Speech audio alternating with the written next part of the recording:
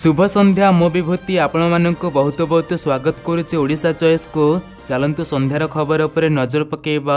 ନଜର ପକାଇବା ପୂର୍ବରୁ ସମସ୍ତଙ୍କୁ ସବୁଦିନ ପରେ ରିକ୍ୱେଷ୍ଟ ଭିଡ଼ିଓକୁ ଶେଷ ପର୍ଯ୍ୟନ୍ତ ଦେଖିବା ସହିତ। ଭିଡ଼ିଓ ସମସ୍ତେ ଲାଇକ୍ ଆଉ ସବସ୍କ୍ରାଇବ୍ କରିବେ। ଚାଲନ୍ତୁ ଖବର ଉପରେ ନଜର ପକାଇବା। ଲେଟ୍ସ ୱେଟ୍ ୱେଟ୍ ଫ୍ରେଣ୍ଡସ୍ ଆପଣମାନଙ୍କ ପାଇଁ ଜବରଦସ୍ତ ଆପ୍ଲିକେସନ୍ ନେଇ ଆସିଛି ଯେଉଁ ଆପ୍ଲିକେସନ୍ ସାହାଯ୍ୟରେ ପ୍ରତିଦିନ ଘରେ ବସି ପାଞ୍ଚଶହରୁ ପନ୍ଦରଶହ ଟଙ୍କା ପର୍ଯ୍ୟନ୍ତ ଇନକମ୍ କରିପାରିବେ। ତେବେ ଏହି ଭିଡ଼ିଓର ଡିସ୍କ୍ରିପ୍ସନରେ ଆପ୍ଲିକେସନର ଲିଙ୍କ ରହିଛି। ଆସନ୍ତା ତିନିରୁ ରାଜ୍ୟରେ ପୁଣି ବର୍ଷା ହେବ। ସାମାନ୍ୟରୁ ମଧ୍ୟମ ଧରଣର ବର୍ଷା ହୋଇପାରେ। ଚାରିରେ ଘୂର୍ଣ୍ଣିବଳୟ ହେବ ଓ ସାତରେ ଲଘୁଚାପ ରୂପ ନେବ। ନଅରେ ଏହା ଗଭୀର ଅବପାତ ରୂପ ନେବ। ସାତରୁ ନଅ ତାରିଖ ଉପକୂଳ ଓ ଦକ୍ଷିଣ ଓଡ଼ିଶାରେ ଅତି ପ୍ରବଳ ବର୍ଷା ହୋଇପାରେ। ଅଭ୍ୟନ୍ତରୀଣ ଓ ଉତ୍ତର ଓଡ଼ିଶାରେ ବି ପ୍ରବଳ ବର୍ଷା ସମ୍ଭାବନା ରହିଛି। ସୋୟା ପରିବେଶ ଜଳବାୟୁ କେନ୍ଦ୍ର ଏହି ପୂର୍ବାନୁମାନ କରିଛି। ବଙ୍ଗୋପସାଗର ଓ ସଂଲଗ୍ନ ଓଡ଼ିଶା ଉପକୂଳରେ ଅଗଷ୍ଟ ଚାରି ବା ପାଞ୍ଚରେ ଏକ ଘୂର୍ଣ୍ଣିବଳୟ ସୃଷ୍ଟି ହୋଇପାରେ। ସାତରେ ଏହା ଲଘୁଚାପ ପରିଣତ ହେବ। ନଅରେ ଏହା ଡିପ୍ରେସନ୍ ବା ଗଭୀର ଅବପାତରେ ପରିଣତ ହେବ। ଉପକୂଳ ଓ ଦକ୍ଷିଣ ଓଡ଼ିଶାରେ ଅତି ପ୍ରବଳ ବର୍ଷା ହେବ ବୋଲି ସିଓ ନିର୍ଦ୍ଦେଶକ ଡକ୍ଟର ଶରତ ସାହୁ କହିଛନ୍ତି। ଆସନ୍ତା ତିନି ତାରିଖ ଯାଏଁ ରାଜ୍ୟରେ ଶୁଖିଲା ପାଗ ରହିବ ବୋଲି ସେ କହିଛନ୍ତି। ତେବେ ନଅ ତାରିଖରେ ପୁଣି ବର୍ଷା। ପରବର୍ତ୍ତୀ ଖବର ଆୟକର ରିଟର୍ଣ୍ଣ ଦାଖଲ ପାଇଁ ଆଜି ହେଉଛି ଶେଷ ତାରିଖ ନ ଦେଲେ ପଡ଼ିବ ଫାଇନ୍। ଆୟକର ରିଟର୍ଣ୍ଣ ଦାଖଲ ପାଇଁ ଆଜି ହେଉଛି ଶେଷ ତାରିଖ ଏଥର ରିଟର୍ଣ୍ଣ ଦାଖଲ ସମୟସୀମା ବୃଦ୍ଧି କରାଯାଇ ନାହିଁ। ଏଯାଏଁ ପାଞ୍ଚ କୋଟିରୁ ଅଧିକ ଲୋକେ ଦାଖଲ କରିସାରିଲେଣି। ଆଜି ଆଇ ଟି ରିଟର୍ଣ୍ଣ ଦାଖଲ ନ କଲେ ଫାଇନ୍ ଦେବାକୁ ପଡ଼ିବ। ବାର୍ଷିକ ଆୟ ପାଞ୍ଚ ଲକ୍ଷ ହୋଇଥିଲେ କରଦାତାଙ୍କୁ ଏକ ହଜାର ଟଙ୍କା ଜୋରିମାନା ଗଣିବାକୁ ପଡ଼ିବ। ଯଦି ପାଞ୍ଚ ଲକ୍ଷରୁ ଅଧିକ ହେଲା ପାଞ୍ଚ ହଜାର ଟଙ୍କା ଫାଇନ୍ ଦେବାକୁ ପଡ଼ିବ। ଗତକାଲି ସୁଦ୍ଧା ପାଞ୍ଚ କୋଟି କରଦାତା ରିଟର୍ଣ୍ଣ ଦାଖଲ କରିଛନ୍ତି। ପରବର୍ତ୍ତୀ ଖବର ଆଜି ହୀରାକୁଦ ଡ୍ୟାମର ଦୁଇଟି ଗେଟ୍କୁ ବନ୍ଦ କରିଦିଆଯାଇଅଛି ବନ୍ୟା ଜଳ ନିଷ୍କାସନ ପାଇଁ ଖୋଲାଯାଇଥିବା ଦୁଇଟି ଗେଟ୍କୁ କର୍ତ୍ତୃପକ୍ଷ ବନ୍ଦ କରିଦେଇଥିବା ସୂଚନା ଆସିଅଛି। ପରବର୍ତ୍ତୀ ଖବର ମାନୁଆଲ ପଦ୍ଧତି ମାଧ୍ୟମରେ ମିଳୁଥିବା ଭିନ୍ନକ୍ଷମ ପ୍ରମାଣପତ୍ର ବ୍ୟବସ୍ଥା ଖୁବ୍ ଶୀଘ୍ର ହଟିଯିବ। ଆସନ୍ତା ସେପ୍ଟେମ୍ବର ଏକ ତାରିଖରୁ ଅନଲାଇନରେ ମିଳିବ ଭିନ୍ନକ୍ଷମ ପ୍ରମାଣପତ୍ର। ଭାରତ ସରକାରଙ୍କ UIDAI portal Swavalamban card website ଜରିଆରେ ପ୍ରମାଣପତ୍ର ଜାରି କରାଯିବ। ପୂର୍ବରୁ ଯେଉଁମାନେ ମାନୁଆଲ ପଦ୍ଧତି ଦ୍ୱାରା ପ୍ରମାଣପତ୍ର ପାଇଛନ୍ତି ସେମାନେ ପୋର୍ଟାଲରେ ଅପଲୋଡ଼ କରିବା ବାଧ୍ୟତାମୂଳକ କରାଯାଇଅଛି। ପରବର୍ତ୍ତୀ ଖବର ନବମ ଦଶମ ଶ୍ରେଣୀ ପାଠ୍ୟକ୍ରମରେ ନୂଆ ବିଷୟ ବିପର୍ଯ୍ୟୟ ପରିଚାଳନା ପାଠ ପଢ଼ିବେ ଛାତ୍ରଛାତ୍ରୀ। ସ୍କୁଲ ପିଲା ପଢ଼ିବେ ବିପର୍ଯ୍ୟୟ ପରିଚାଳନା ପାଠ ବନ୍ୟା ବାତ୍ୟା ଆଦିରୁ କିଭଳି ସୁରକ୍ଷା ପାଇବେ ସେସବୁ ଉପରେ ସେମାନେ ଶିକ୍ଷା ଗ୍ରହଣ କରିବେ। ଏଥିପାଇଁ ଆସନ୍ତା ଶିକ୍ଷାବର୍ଷ ଅର୍ଥାତ୍ ଦୁଇହଜାର ତେଇଶରୁ ସ୍କୁଲ ପାଠ୍ୟକ୍ରମରେ ସ୍ଥାନ ପାଇବ ବିପର୍ଯ୍ୟୟ ପରିଚାଳନା ପାଠ୍ୟକ୍ରମ। ବିଦ୍ୟାଳୟ ଓ ଗଣଶିକ୍ଷା ବିଭାଗ ପକ୍ଷରୁ ପାଠ୍ୟକ୍ରମ ପ୍ରସ୍ତୁତ ଆରମ୍ଭ ହୋଇଛି। ନବମ ଦଶମ ଶ୍ରେଣୀ ପାଠ୍ୟକ୍ରମରେ ନୂଆ ବିଷୟ ରହିବ। ବିପର୍ଯ୍ୟୟ ପରିଚାଳନା ଉପରେ ସ୍ୱତନ୍ତ୍ର ପାଠ୍ୟକ୍ରମ ସ୍ଥାନ ପାଇବ। ପରବର୍ତ୍ତୀ ଖବର ଦେଶରେ ଚବିଶ ଘଣ୍ଟା ମଧ୍ୟରେ ଉଣେଇଶ ହଜାର ଛଅଶହ ତେସ୍ତରୀ ଜଣ ନୂଆ କରୋନା ଆକ୍ରାନ୍ତ ବାହାରିଥିବା ସୂଚନା ଆସିଅଛି। ପରବର୍ତ୍ତୀ ଖବର ସୁନା କିଣିବା ପାଇଁ ଦୋକାନକୁ ଯିବା ପୂର୍ବରୁ ଜାଣିନିଅନ୍ତୁ ସୁନା ଦର ଆଜି କ'ଣ ରହିଛି। ଆଜି ଭାରତୀୟ ବଜାରରେ ବାଇଶ କ୍ୟାରେଟ ସୁନା ଦଶ ଗ୍ରାମକୁ ସଡ଼ଚାଳିଶ ହଜାର ଶହେ ଚାଳିଶ ଟଙ୍କା ଥିବାବେଳେ ସେହିପରି ଚବିଶ କ୍ୟାରେଟ ସୁନା ଦଶ ଗ୍ରାମକୁ ଏକାବନ ହଜାର ଚାରିଶହ ସତୁରି ଟଙ୍କା ରହିଛି। ସେହିପରି ଓଡ଼ିଶାର ରାଜଧାନୀ ଭୁବନେଶ୍ୱର ଆଜି ବାଇଶ ଓ ଚବିଶ କ୍ୟାରେଟ ସୁନା ଦଶ ଗ୍ରାମକୁ ସଡ଼ଚାଳିଶ ହଜାର ଦୁଇଶହ ଟଙ୍କା ଏକାବନ ହଜାର ଚାରିଶହ ନବେ ଟଙ୍କା ରହିଛି। ସେହିପରି ସ୍ଥିର ରହିଛି ପେଟ୍ରୋଲ ଓ ଡିଜେଲ ମୂଲ୍ୟ। ଆଜି ଭୁବନେଶ୍ୱରରେ ପେଟ୍ରୋଲ ଲିଟରକୁ ଶହେ ତିନି ଟଙ୍କା ଉଣେଇଶ ପଇସା ଥିବାବେଳେ ଡିଜେଲ ପ୍ରତି ଲିଟରକୁ ଚଉରାନବେ ଟଙ୍କା ଅଣାଅଶୀ ପଇସା ରହିଅଛି। ପରବର୍ତ୍ତୀ ଖବର ପୁଣି ବଢ଼ିବ ପେଟ୍ରୋଲ ଓ ଡିଜେଲ ମୂଲ୍ୟ। ମହଙ୍ଗା ମାଡ଼ରେ ଦେଶବାସୀ ଛଟପଟ ହେଉଥିବା ବେଳେ ଏ ନେଇ ପୁଣି ଏକ ନିରାଶଜନକ ଖବର ଆସିଛି।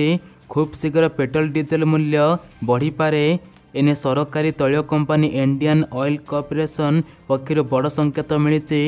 ଗତ ଏପ୍ରିଲ ଜୁନ ତ୍ରୈମାସରେ ଆଇଓସିଓର ବହୁତ କ୍ଷତି ହୋଇଥିବା ସୂଚନା ଆସିଅଛି। ପରବର୍ତ୍ତୀ ଖବର କର୍ମଚାରୀ ଭବିଷ୍ୟନିଧି ସଂଗଠନ ଇପିଏଫ୍ଓ ପକ୍ଷରୁ ଲକ୍ଷ ଲକ୍ଷ ଗ୍ରାହକଙ୍କ ପାଇଁ ଏକ ଖୁସି ଖବର ଆସିଛି। EPFO board digital life certificate ପାଇଁ ଫେସ୍ ଅଥେଣ୍ଟିକେସନ୍ ଟେକ୍ନୋଲୋଜିର ବ୍ୟବହାର ନେଇ ମଞ୍ଜୁରୀ ପ୍ରଦାନ କରିଛି। ତେସ୍ତରୀ ଲକ୍ଷରୁ ଅଧିକ ପେନ୍ସନଭୋଗୀ ଫେସ୍ ଅଥେଣ୍ଟିକେସନ୍ ଟେକ୍ନୋଲୋଜିର ଉପଯୋଗ କରି ଜୀବନ ପ୍ରମାଣପତ୍ର ଜମା କରିବାକୁ ଅନୁମତି ଦିଆଯାଇଅଛି। ପରବର୍ତ୍ତୀ ଖବର ଦେଶର ବିଭିନ୍ନ ରାଜ୍ୟରେ ବଢ଼ିବ ଏମ୍ବିବିଏସ୍ ସିଟ୍ ସଂଖ୍ୟା। ଏନେଇ କେନ୍ଦ୍ର ସ୍ୱାସ୍ଥ୍ୟ ମନ୍ତ୍ରୀ ମନଖୁସ ମାଣ୍ଡଭେୟା ସଂସଦରେ ସୂଚନା ଦେଇଛନ୍ତି ସେଣ୍ଟ୍ରାଲ ସେନ୍ସେଟ୍ ସ୍କିମ୍ ଅଧୀନରେ ସରକାରୀ ମେଡିକାଲ କଲେଜକୁ ଅପଗ୍ରେଡ୍ କରାଯିବ। ରାଜସ୍ଥାନରେ ସର୍ବାଧିକ ସାତଶହ ସେଇଟି ମେଡିକାଲ ସିଟି ବଢ଼ିବ ବୋଲି ସୂଚନା ଆସିଅଛି। ପରବର୍ତ୍ତୀ ଖବର ମୋ ଘର ପରିବାର ଲୋକଙ୍କ ସ୍ୱାସ୍ଥ୍ୟ ଭଲ ନାହିଁ ଦୟାକରି ଘର ଆଗରେ ଗହଳି ନ କରନ୍ତୁ ଅପରାଜିତା। ବାବୁସାନ ପ୍ରକୃତି ତୃପ୍ତି ବିବାଦ ମାମଲା ଦିନକୁ ଦିନ ଘଟଣା ନୂଆ ମୋଡ଼ ନେବାର ଲାଗିଛି। ଗତକାଲି ବାବୁସାନ ମହାନ୍ତି ତାଙ୍କ ଜଗନ୍ନାଥ ବିହାର ସ୍ଥିତ ବାସଭବନରେ ତାଙ୍କର ଜନ୍ମଦିନ ପାଳିଥିଲେ। ତାଙ୍କ ପରିବାର ଶ୍ୱଶୁରଙ୍କ ଗ୍ରହଣରେ କେକ୍ କାଟିଥିବା ସୂଚନା ଆସିଅଛି ପରବର୍ତ୍ତୀ ଖବର ପ୍ରଧାନମନ୍ତ୍ରୀ ଫସଲ ବୀମା ଯୋଜନାର ଲାଭ ଉଠାଇବାକୁ ହେଲେ ଆପଣମାନଙ୍କୁ ପ୍ରଧାନମନ୍ତ୍ରୀ ଫସଲ ବୀମା ଯୋଜନାରେ ପଞ୍ଜୀକରଣ କରିବାକୁ ପଡ଼ିବ। ଏହାର ପଞ୍ଜୀକରଣ ପାଇଁ ଶେଷ ତାରିଖ ହେଉଛି ଆଜି ଏକତିରିଶ ଜୁଲାଇ ଶେଷ ତାରିଖ ରହିଛି। ଏହା ପରେ କୌଣସି ପ୍ରକାର ପଞ୍ଜୀକରଣ ହେବ ନାହିଁ ଏବଂ ଆପଣ ଏହି ଯୋଜନାର ବଞ୍ଚିତ ହୋଇପାରନ୍ତି। ଦୟାକରି ଧ୍ୟାନ ଦିଅନ୍ତୁ ଯେ ଏହି ପଞ୍ଜୀକରଣ ଅନଲାଇନ୍ କିମ୍ବା ଅଫଲାଇନ୍ରେ କରାଯାଉଅଛି ପରବର୍ତ୍ତୀ ଖବର ଚାରି ଦଫା ଦାବିରେ ଚାରି ଘଣ୍ଟିଆ ଚକାଜାମ୍ କରିଛି ଅଖିଳ ଭାରତ କୃଷକ ମହାସଂଘ।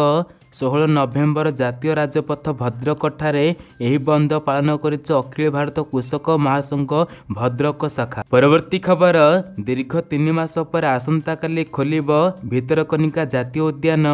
ଆସନ୍ତାକାଲି ଖୋଲିବ ଭିତରକନିକା ଜାତୀୟ ଉଦ୍ୟାନ।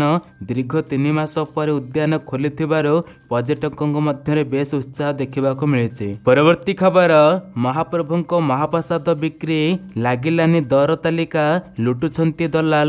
ମହାପ୍ରଭୁଙ୍କ ମହାପ୍ରସାଦର ଦର ନିର୍ଦ୍ଧାରଣ ହେବ ଭକ୍ତ ଶୋଷଣରୁ ମୁକ୍ତ ହେବେ ମହାପ୍ରସାଦର ଦର ଆନନ୍ଦ ବଜାର ଓ ଅନ୍ୟ ସ୍ଥାନରେ ଲାଗିବ ଚାରି ବର୍ଷ ତଳେ ଏହିଭଳି ସ୍ୱପ୍ନ ଦେଖାଇଥିବା ଶ୍ରୀମନ୍ଦିର ପ୍ରଶାସନ ତେବେ ଏଥିପାଇଁ ସ୍ୱତନ୍ତ୍ର ଭାବେ ମହାପ୍ରସାଦ ପ୍ରସ୍ତୁତ ହେଲା ଭକ୍ତଙ୍କ ସହିତ ବିଭିନ୍ନ ମହଲରୁ ବି ଏହିଭଳି ପଦକ୍ଷେପକୁ ସ୍ୱାଗତ କରାଗଲା କିନ୍ତୁ ଦୁର୍ଭାଗ୍ୟର ବିଷୟ ଯେ ଇତିମଧ୍ୟରେ ତିନି ଜଣ ଶ୍ରୀମନ୍ଦିର ମୁଖ୍ୟ ପ୍ରଶାସକ ବଦଳି ସାରିଲାଣି ଚାରି ବର୍ଷ ବି ବିତି ସାରିଲାଣି ତଥାପି ମହାପ୍ରସାଦର ଦର ନିର୍ଦ୍ଧାରଣ ହୋଇନଥିବା ସୂଚନା ଆସିଅଛି ପରବର୍ତ୍ତୀ ଖବର କାଶ୍ମୀର ଉପତ୍ୟକାରେ ଆତଙ୍କବାଦୀଙ୍କୁ ନିପାତ କରିବାକୁ ଭାରତୀୟ ସେନାର ଅପରେସନ ଜାରି ରହିଛି।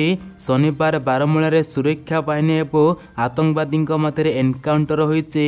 ଏହି ଏନକାଉଣ୍ଟରରେ ଜଣେ ଆତଙ୍କବାଦୀ ନିହତ ହୋଇଥିବା ବେଳେ ଦୁଇ ଜଣ ଯବାନ ଆହତ ହୋଇଥିବା ସୂଚନା ଆସିଅଛି ପରବର୍ତ୍ତୀ ଖବର ପ୍ରଧାନମନ୍ତ୍ରୀ ନରେନ୍ଦ୍ର ମୋଦିଙ୍କ ମନ୍ କି ବାତ୍ କାର୍ଯ୍ୟକ୍ରମରେ ସ୍ୱାଧୀନତାର ପଞ୍ଚସ୍ତରୀ ବର୍ଷ ପ୍ରତିପାଳନ କରିବ ଭାରତ ଆସନ୍ତା ତେରରୁ ପନ୍ଦର ଅଗଷ୍ଟ ପର୍ଯ୍ୟନ୍ତ ହର ଘର ତିରଙ୍ଗା ଅଭିଯାନ ଚାଲିବ। ଦୁଇରୁ ପନ୍ଦର ଅଗଷ୍ଟ ପର୍ଯ୍ୟନ୍ତ ଡିପିରେ ସମସ୍ତେ ତିରଙ୍ଗା ରଖିବାକୁ ମୋଦି ଆହ୍ୱାନ ଦେଇଛନ୍ତି। ସେ ଆହୁରି କହିଛନ୍ତି କି ଦୁଇ ଅଗଷ୍ଟର ତିରଙ୍ଗା ସହିତ ବିଶେଷ ସମ୍ବନ୍ଧିତ ରହିଛି ସମସ୍ତେ ପ୍ରୋଫାଇଲରେ ତିରଙ୍ଗା ଫଟୋ ରଖିବା ପାଇଁ ଆହ୍ୱାନ ଦେଇଛନ୍ତି। ପରବର୍ତ୍ତୀ ଖବର ବାଚସ୍ପତି ବିକ୍ରମ କେଶରୀ ଆଖରେଙ୍କ ନେତୃତ୍ୱରେ ଛବିଶ ଜଣ ବିଧାୟକ ଯିବେ ଦିଲ୍ଲୀ। ରାଷ୍ଟ୍ରପତି ଦ୍ରୌପଦୀ ମୁର୍ମୁଙ୍କୁ ଜଣାଇବେ ଅଭିନନ୍ଦନ। ଦିଲ୍ଲୀ ଯିବେ ଛବିଶ ବିଧାୟକ। ତେବେ ରାଷ୍ଟ୍ରପତି ଦ୍ରୌପଦୀ ମୁର୍ମୁଙ୍କୁ ଓଡ଼ିଶା ବିଧାନସଭା ପକ୍ଷରୁ ଅଭିନନ୍ଦନ ଜଣାଇବାକୁ ବାଚସ୍ପତି ବିକ୍ରମ କେଶରୀ ଆଖାରୀଙ୍କ ନେତୃତ୍ୱରେ ଛବିଶ ଜଣ ବିଧାୟକ ଦିଲ୍ଲୀ ଗସ୍ତରେ ଯିବେ। ଦୁଇ ତାରିଖରେ ସେମାନେ ଦିଲ୍ଲୀରେ ପହଞ୍ଚିବେ। ପରବର୍ତ୍ତୀ ଖବର କୃଷକଙ୍କ ଆର୍ଥିକ ସହାୟତା ପାଇଁ କେନ୍ଦ୍ର ସରକାରଙ୍କ ଦ୍ୱାରା ଆରମ୍ଭ ହୋଇଥିବା ପିଏମ୍ କିଷାନ ଯୋଜନାରେ ପ୍ରତିବର୍ଷ ଚାଷୀଙ୍କୁ ଛଅ ହଜାର ଟଙ୍କା ଦିଆଯାଉଅଛି। ଏହି ଟଙ୍କା ପ୍ରତି ଚାରି ମାସରେ କୃଷକଙ୍କ ଆକାଉଣ୍ଟକୁ ଦୁଇ ହଜାର ଟଙ୍କା ଲେଖାଏଁ ସ୍ଥାନାନ୍ତରିତ କରାଯାଉଛି। ବର୍ତ୍ତମାନ ପର୍ଯ୍ୟନ୍ତ ଏହି ଯୋଜନାର ଏଗାରତମ କିସ୍ତି ଚାଷୀଙ୍କ ଆକାଉଣ୍ଟକୁ ଆସିଥିବା ବେଳେ ବାରତମ କିସ୍ତିକୁ ଚାଷୀ ଅପେକ୍ଷା କରିଛନ୍ତି। ଏକତିରିଶ ମେ ଦୁଇହଜାର ବାଇଶରେ ପ୍ରଧାନମନ୍ତ୍ରୀ ନରେନ୍ଦ୍ର ମୋଦି ଏକାଦଶ କିସ୍ତିର ଦୁଇ ହଜାର ଟଙ୍କା ଦଶ କୋଟିରୁ ଅଧିକ ଚାଷୀଙ୍କ ଆକାଉଣ୍ଟକୁ ସ୍ଥାନାନ୍ତରିତ କରିଥିଲେ। ଏହିଭଳି ସ୍ଥିତିରେ ଦ୍ୱାଦଶ କିସ୍ତି ପାଇଁ ଏହାର ଦୁଇ ହଜାର ଟଙ୍କା କେବଳ ଏକ ସେପ୍ଟେମ୍ବର ଦୁଇହଜାର ବାଇଶ ପରେ କୃଷକଙ୍କ ଆକାଉଣ୍ଟକୁ ହସ୍ତାନ୍ତର ହେବ ବୋଲି ଆଶା କରାଯାଇଅଛି। ପରବର୍ତ୍ତୀ ଖବର ଦୁଇହଜାର ବାଇଶ ତେଇଶ ଆର୍ଥିକ ବର୍ଷ ପାଇଁ ବିଧାନସଭାର ବ୍ୟୟ ମଞ୍ଜୁରୀ ବିଲ୍ ପାରିତ ହୋଇଛି। ଚଳିତ ଆର୍ଥିକ ବର୍ଷ ପାଇଁ ଦୁଇ ଲକ୍ଷ କୋଟି ଟଙ୍କାର ବ୍ୟୟ ବରାଦ ହୋଇଛି। ପ୍ରଥମ ଦିନରେ ବ୍ୟୟ ମଞ୍ଜୁରୀ ବିଲ୍ ଆଗତ କରିଥିଲେ ଅର୍ଥମନ୍ତ୍ରୀ ନିରଞ୍ଜନ ପୂଜାରୀ। ବିଲ୍ ପାରିତ ହେବା ପରେ ରାଜ୍ୟ ସରକାର ଅର୍ଥ ଖର୍ଚ୍ଚ କରିବେ ବୋଲି ନିୟମ ରହିଛି ଦୁଇହଜାର ଦଶ ପରଠାରୁ ରାଜ୍ୟର ଅଭିବୃଦ୍ଧି ହାର ବଢ଼ିଛି ଦୁଇହଜାର ବାଇଶ ତେଇଶରେ ଅଭିବୃଦ୍ଧି ହାର ଆଠରୁ ଆଠ ଦଶମିକ ପାଞ୍ଚ ପ୍ରତିଶତ ରହିଥିବା ନେଇ ଆକଳନ କରାଯାଇଛି। ପରବର୍ତ୍ତୀ ଖବର କର୍ମଚାରୀଙ୍କ ଭବିଷ୍ୟନିଧି ସଂଗଠନ ଇପିଏଫ୍ଓ ପକ୍ଷରୁ ସେୟାର ନିବେଶ ସୀମା ବୃଦ୍ଧି ନେଇ କୌଣସି ବିଚାର କରାଯାଇ ନାହିଁ। କର୍ମଚାରୀଙ୍କ ପ୍ରତିନିଧିଙ୍କ ତରଫରୁ ଏନେଇ ବିଚାର ବିମର୍ଶ କରିବାକୁ ଦାବି କରାଯାଇଥିଲା। ସେୟାର ନିବେଶ ସୀମା ପନ୍ଦର ପ୍ରତିଶତରୁ କୋଡ଼ିଏ ପ୍ରତିଶତ ବୃଦ୍ଧି ନେଇ ବିଚାର କରାଯାଏ ନାହିଁ।